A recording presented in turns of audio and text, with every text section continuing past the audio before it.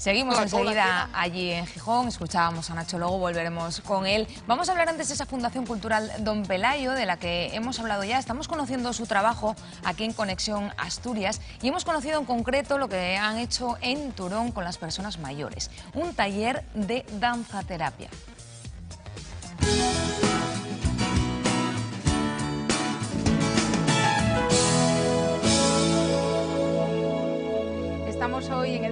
De de Turón con la idea de hacer una sesión de musicoterapia un poco diferente también a la del otro día, porque las hacemos variadas, dependiendo del centro, dependiendo de, los usuarios, pues utilizamos un, método u otro.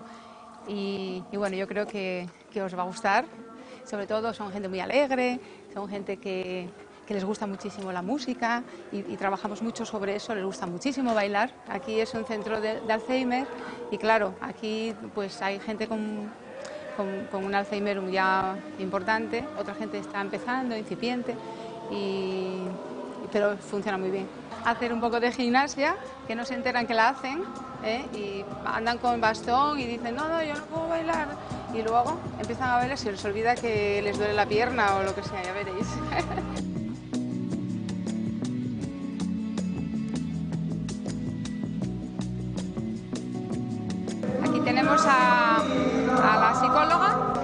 tenemos a Adriana, que es humorista, es trapecista, es antropóloga. Y tenemos a Alex, que es un trompetista maravilloso, muy buena persona y muy buen músico. Y hoy lo hacemos variado, siempre lo hacemos variado. La fundación lo primero es alegre, porque eso es lo que tenemos que transmitir, alegría. Y después profesionalidad, seriedad, y mucho cariño y, la base sólida es, empieza así. Y luego repartirlo por todos los sitios donde estamos a diestro y siniestro.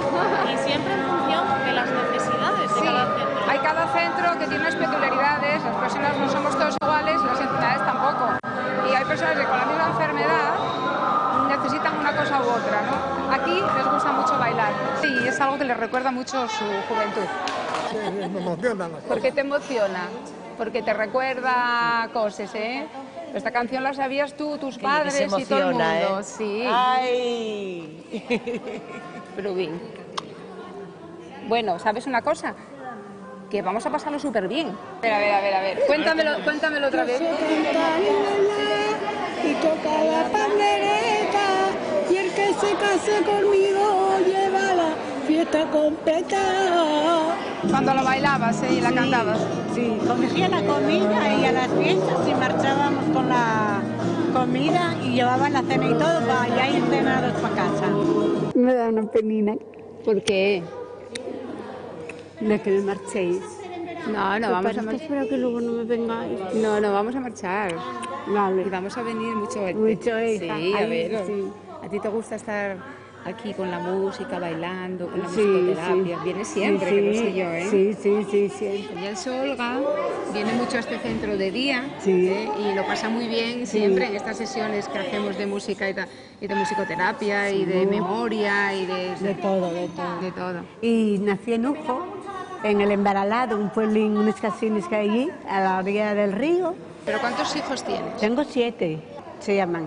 El mayor José Luis, la segunda Covadonga, la tercera Raquelina, no, Olguina, la otra Raquelina, la pequeña Silvia y el que va delante de ella se llama Enrique. Ellos necesitan mucho expresarse y contar lo que sienten y contar sus historias porque van perdiendo la memoria mucho a veces por, no, tener contacto o no hablar o no contar, eh, a, ir tragándose lo que, lo que sienten. ¿Se anima baile con Tina? Sí, venga.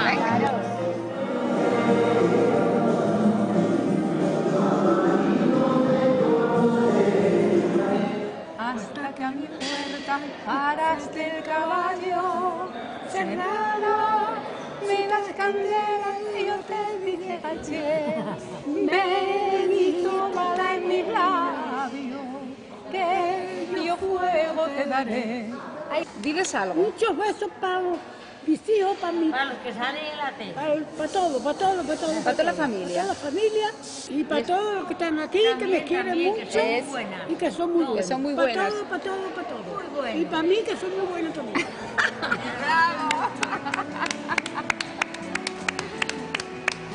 Este es solo uno de los trabajos que realiza la Fundación Cultural Don Pelayo. Veíamos a Tina Gutiérrez, a su creadora, y vamos a conocer ahora a otra persona que también va a empezar a colaborar con ellos, que es Elena Herrera, que es directora de orquesta. Buenas tardes. Buenas tardes, encantada. A partir de septiembre vas a empezar tú a colaborar con la Fundación Cultural. Ya estoy colaborando hace un ya tiempo, estás colaborando. y asesorando y, y existe la posibilidad de poder eh, ayudar eh, enseñando, que es una de las cosas que más me gusta hacer, además de, de hacer música prácticamente, dirigiendo o tocando. Y llevo ya unos cuantos años de experiencia, lo que me permite poder ayudar eh, enseñando dirección de orquesta y a- haciendo cursos de interpretación. Entonces, eh, la amistad que me une a Tina Gutiérrez y a Armando hace mucho tiempo y, y la existencia de la Fundación Don Pelayo eh, nos permite eh, plantearnos eh, hacer cursos de dirección de orquesta en un plano bien interesante, no solo la, parte práctica de la dirección de orquesta, sino todo lo que conlleva la formación de un director de orquesta, que sé que existen eh, algunos ávidos de ese tipo de trabajo, que se realiza con bastante poca frecuencia. Y la otra, el otro módulo sería la interpretación eh, como talleres de arte lírico, donde eh, montar al cantante un papel completo de ópera o de zarzuela, eh, cosa que ya yo he hecho ya en varias ocasiones durante bastante tiempo, porque no es solo el maestro de canto el que está en, la, en el desarrollo del cantante, sino siempre tiene que existir una persona que es la que le monta el papel desde el punto de vista musical.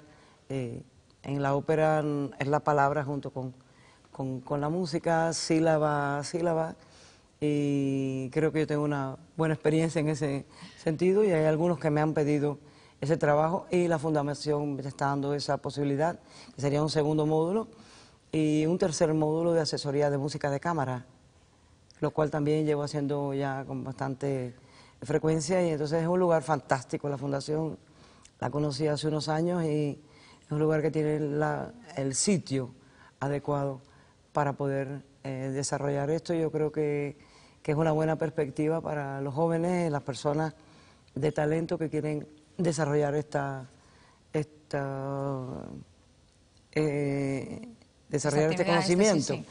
Y en el caso de la dirección de orquesta, eh, a mí me interesa por encima de todo formar al, al músico completo en toda la condición de que debe ser eh, realizado, que ya no es solo el acto del conocimiento de la música, sino la comunicación del maestro como primer músico con eh, el resto de los instrumentistas que son tan músicos como él, aunque el maestro siempre debe, se supone, saber un poco más.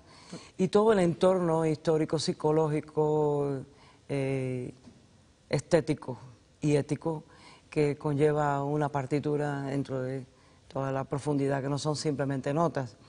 Eh, y creo que eh, va a ser una cosa bien interesante.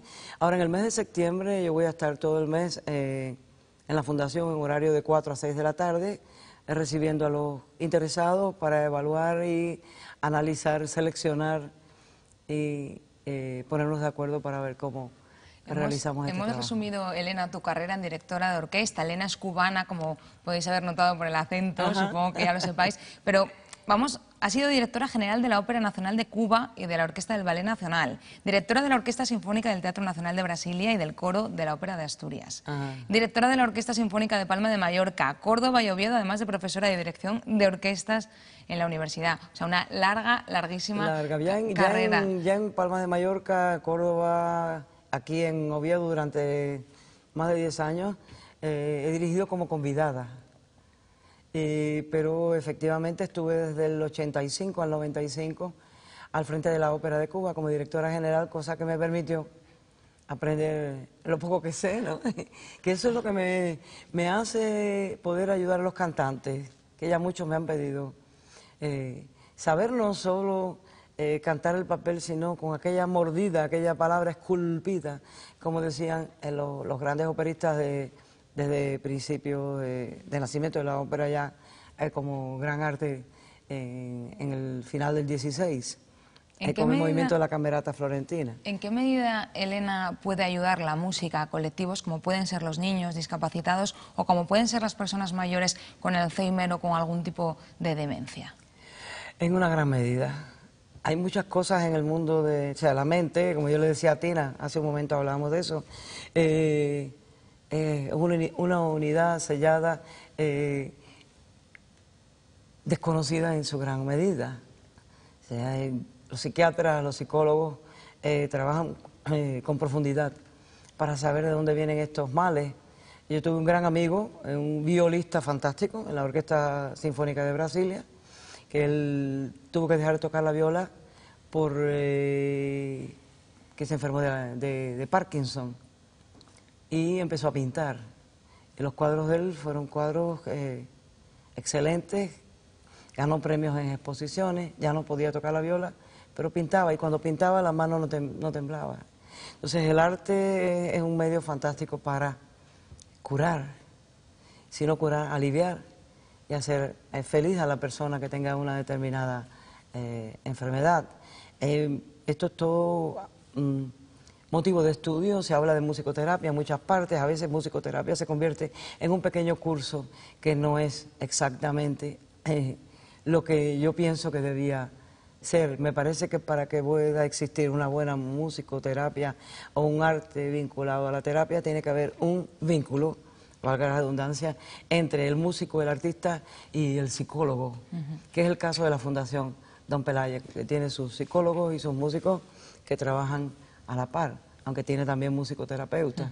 Se habla muy fácil de la musicoterapia. Yo vengo de un país donde viví 15 años en, en Brasil, sin abandonar mi Cuba amada, eh, y sé del movimiento que hay en Brasil con la musicoterapia. Tengo hasta una, una alumna de dirección de orquesta que es musicoterapeuta.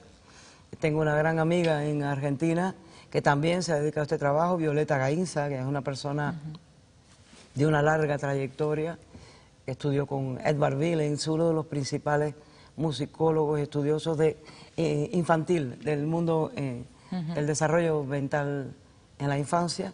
Y hay muchas cosas por descubrir. Gran trabajo y Lo grandes más importante es el psicólogo en matrimonio con el, con el músico o el artista. Gran trabajo que está haciendo la Fundación Don Pelayo y grandes maestros que estáis pasando por ahí. Muchas gracias, Elena, por estar aquí esta tarde con nosotros. Yo, yo te lo agradezco Gracias a ti. a ti.